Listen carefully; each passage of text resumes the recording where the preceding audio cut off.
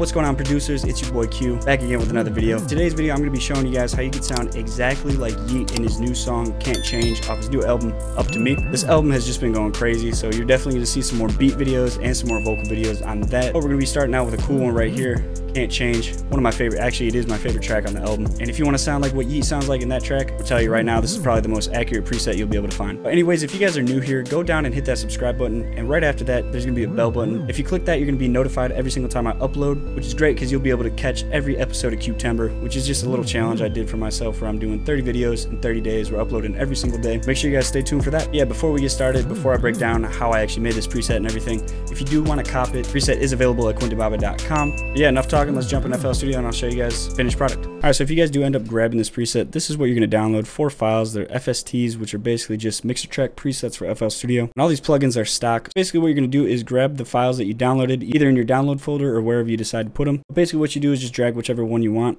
onto an open mixer track and it'll pull up everything. The only thing you're going to have to do is change this Auto-Tune Pro to whatever Auto-Tune you actually prefer to use. FL Studio does have its own, so if you just go to replace more plugins and you type in pitcher, just use this right here. And that's basically Auto-Tune, but just a stock version. And like I said, you get four tracks. You get your lead, your ad-lib track, and then two different double tracks. And before I break down anything else, let me just show you guys how this sounds.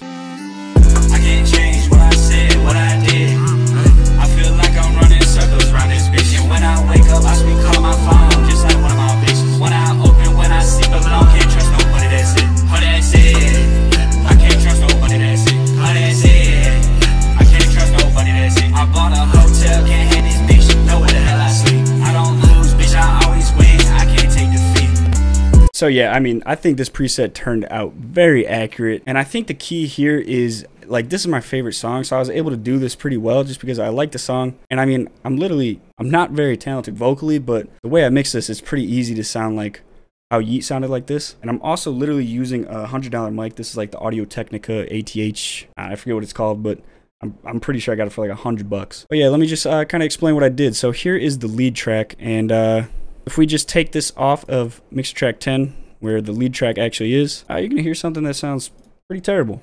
I can't change what I said, what I did. So yeah, that compared to I can't change what I said, what I did. obviously there's a big difference there. And the key part of this track was adding a bunch of like these ad lib tracks and just filling out like everything you possibly could. I mean, these are kind of like ad libs, so we brought this to the ad lib track. And the difference here is it's just it sits a little bit more in the background. And then we also have like some doubles. Like this is a double right here. I think this is a double as well. And then when you play those together, it just fills it out a lot more.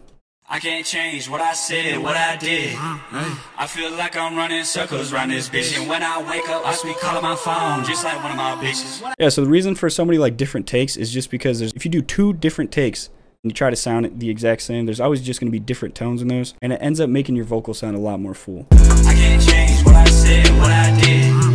I feel like I'm running circles around this bitch. And when I Oh yeah, and one more super funny thing is so I brought this to the double track, the second double track. It's just a bit quieter. I think there's some more reverb on there too. But listen to this. If we take this off of the track. Ah. Yeah, so I mean that's that's sounds pretty terrible until you bring it back to uh, a double track.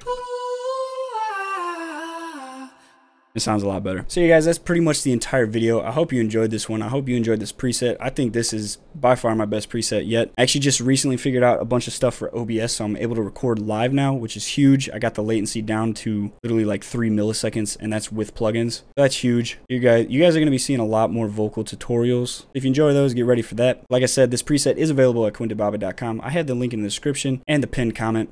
If you guys want to cop that, go ahead and do that. Definitely help support the channel.